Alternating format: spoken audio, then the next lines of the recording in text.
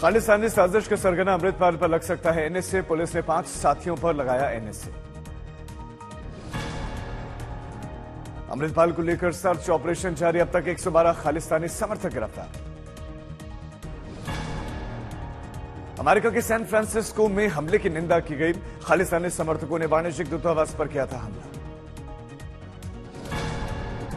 America में खालिस्तानियों के प्रदर्शन पर बोला विदेश मंत्रालय कहा अमेरिकी सरकार को ऐसी घटनाओं को रोकने के लिए उचित उपाय करने के लिए कहा गया है।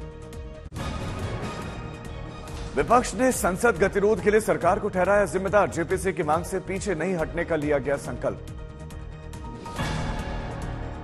राहुल लड़ाने विवाद को लेकर बीजेपी और विपक्ष के बीच घमासान। लगातार छठे दिन भी संसद वही ठप।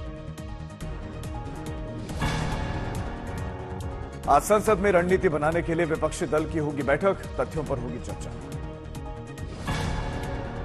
संसद का गतिरोध खत्म करने पर बोले हरदीप सिंह पुरी, कहा ब्रिटेन में अपनी टिप्पणी के राहुल गांधी के स्पष्ट माफ़ी के साथ संसद गतिरोध समाप्त हो सकता है। बीजेपी नेता उमा भारती का बड़ा बयान, भारत हिंदू राष्ट्र नहीं होता तो ममता अखिलेश नमाज़ पढ़ रहे होते दिल्ली के सीएम अरविंद केजरीवाल का दावा केंद्र ने दिल्ली का बजट रोका। गृह मंत्रालय ने आरोपों से किया इनकार। केजरीवाल सरकार के बजट पर फंसा पेच। आज नहीं पेश होगा केजरीवाल सरकार का बजट। दिल्ली में आज पेश नहीं होगा बजट। केंद्र ने विज्ञापन पर बजट को लेकर मांगी सफ़ाई।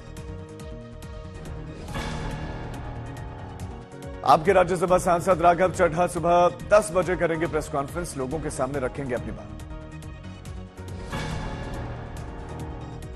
कर्नाटक में राहुल गांधी ने फेंका चुनावी पाँच राज्य में अगले पाँच साल के दौरान 10 लाख युवाओं को रोज़गार देने का वादा किया। जयपुर में राइट टू हेल्थ बिल का विरोध कर रहे डॉक्टर्स पर पुलिस ने किया लाठीचार्ज, सभी निजी अस्पताल बंद। सीएम अशोक गहलोत के साथ ज्वाइंट एक्शन कमेटी की बातचीत के बावजूद राइट टू हेल्थ बिल का विरोध जारी, सभी निजी अस्पतालों के डॉक्टर्स ने अपने अस्पताल बंद करने का फैसला लिया। अहमदाबाद में नेपाली युवक को चोट समझकर की गई पिटाई, मौके पर ही युवक की हुई मौत। घटना का वीडियो हुआ वायरल। वीडियो के आधार पर पुलिस ने 10 लोगों को गिरफ़्तार भी किया। बांद्रा में तैनात आरपीएफ कांस्टेबल ने बचाई यात्री की जान। चलती ट्रेन पकड़ने की कोशिश कर रहा था यात्री। राहुल गांधी का सरकार पर पलटवार, कहा, मैं ना बीजेपी से डरता हूँ, ना ही आरएसएस से। ममता बनर्जी ने राहुल गांधी को घेरा कहा, राहुल को नेता बनाने में बीजेपी को ही फ़ायदा। ममता बनर्जी के हमले पर अधीर रंजन चौधरी का पलटवार, कहा, ईडी सीबीआई से डरी दीदी। पवन खेड़ा को सुप्रीम कोर्ट से राहत, उनके खिलाफ दर्ज सभी एफआईआर को लखनऊ ट्रांसफ़र किया गया। पूर्व आईएएस अधिकारी हर्ष मंदर के खिलाफ सीबीआई जाँच के आदेश एफसीआरए कानून के उल्लंघन का आरोप।